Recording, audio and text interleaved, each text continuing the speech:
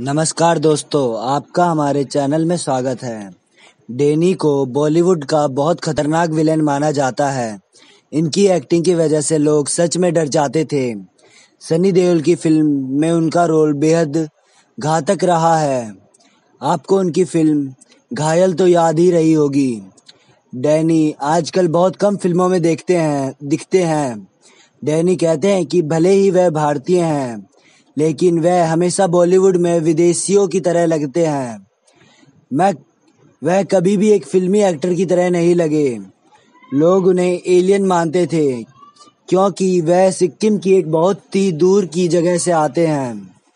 आज भले ही डेनी के पास फ़िल्मों में काम ना हो, लेकिन डेनी हमारे देश के बहुत बड़े बिजनेसमैन बन चुके हैं। सिक्किम में डेनी की एक बहुत बड़ी बियर की फैक्ट्री है। डेनी की यह बियर कंपनी हमारे देश में बहुत प्रसिद्ध है। डेनी के पास आज बहुत ही महँगी कारें भी हैं, जिसमें रेंज रोवर और दूसरी ओडी है।